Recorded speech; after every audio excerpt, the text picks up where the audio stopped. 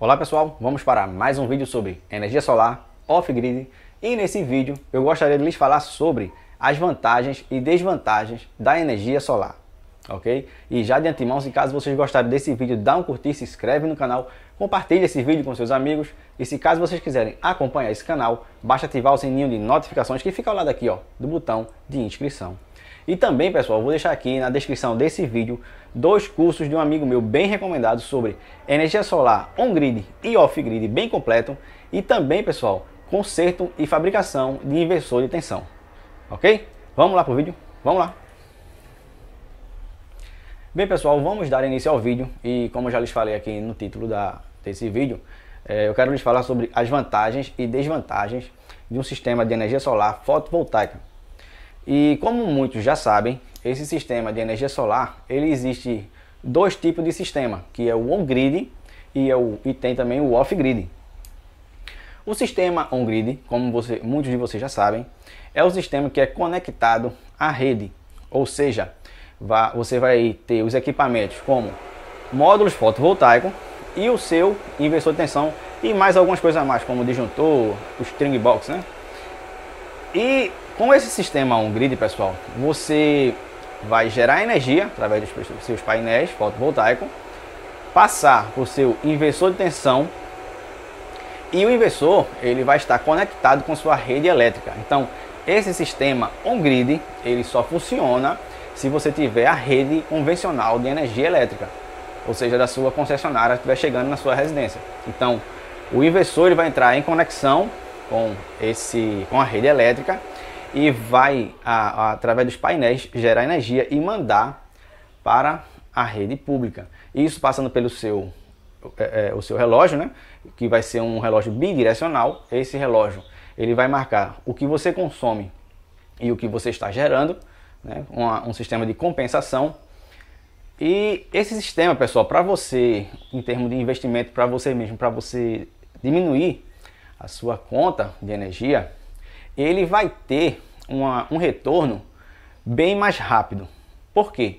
Porque ele não usa baterias que eu vou falar para vocês aqui um pouco mais para frente, que isso é do sistema off-grid.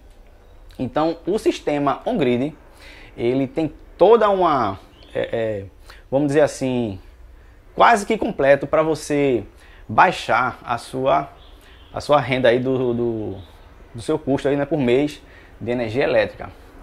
A única desvantagem desse sistema on-grid é justamente em caso de falta de energia da concessionária. Então, o modo de segurança, esse sistema on-grid, ele quando falta a energia da concessionária, ele desliga o sistema.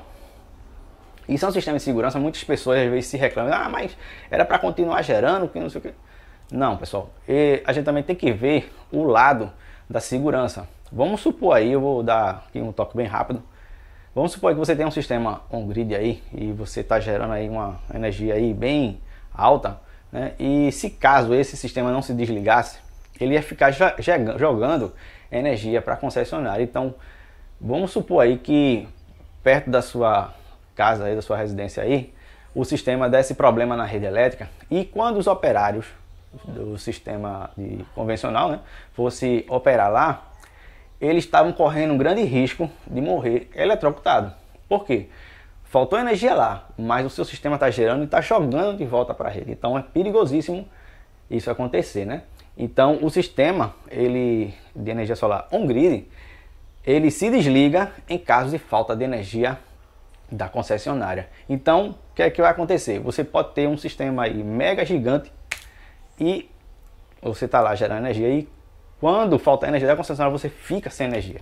Então, a desvantagem desse sistema on-grid é essa. Faltou energia da concessionária, você também fica sem energia elétrica. A compensação, ele vai tirar, você vai tirar o seu investimento muito mais rápido do que esse, como o sistema off-grid, que eu vou lhes falar a partir de agora também. Então, on-grid, ele é, é bom para você recuperar o seu dinheiro rápido, Porém, em caso de falta de energia, ele não, você não, você fica sem energia total, ok? Agora, o, o ponto da energia solar off-grid, vou falar aqui também as vantagens e desvantagens. O sistema off-grid, pessoal, como muitos já sabem, ele depende, ele vai ter os equipamentos que tem o sistema on-grid, ou seja, é um pouco diferente os equipamentos, a não ser o painel que é o mesmo, né? Então vai ter os painéis fotovoltaicos, vai ter que ter um controlador de carga, vai ter que ter um inversor de tensão off-grid e vai ter que ter baterias.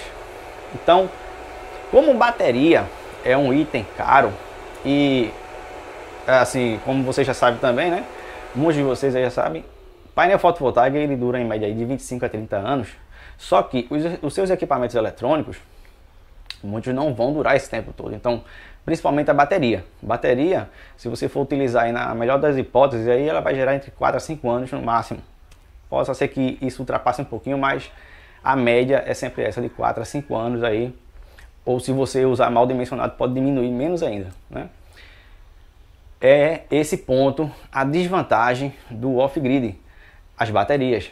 Então, o sistema off-grid, você demora um pouco mais para é, receber esse retorno, porque, vamos, vamos colocar aqui numa, numa faixa média, de 4 em 4 anos, você vai ter que trocar as baterias desse sistema.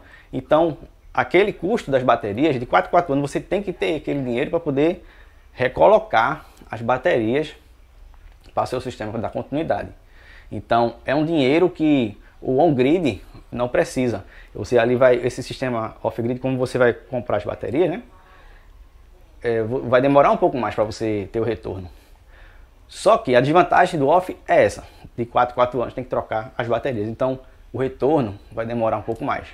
Compensação, em compensação, o sistema off-grid ele não depende da sua rede elétrica convencional para funcionar.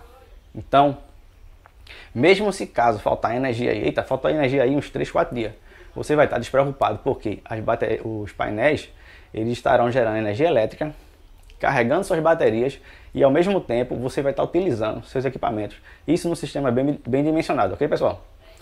Então, se você colocar o off-grid, você não vai ter problema em caso de falta de energia elétrica da concessionária. Então você vai, ser, vai ter sempre energia aí para você utilizar.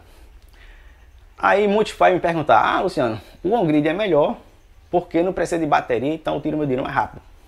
Já outros vão dizer, ah, mas o off é melhor porque eu não dependo da rede elétrica. Então, pessoal, eu muitas pessoas me perguntam isso, eu vou dar aqui, falar aqui nesse vídeo. Muitas, muitas pessoas me perguntam, ah, Luciano, o sistema on-grid é melhor. Qual é melhor? É o on-grid ou é o off-grid? E minha resposta, pessoal, para vocês que têm essa dúvida, se vocês tiverem condição de colocar. São é os dois sistemas.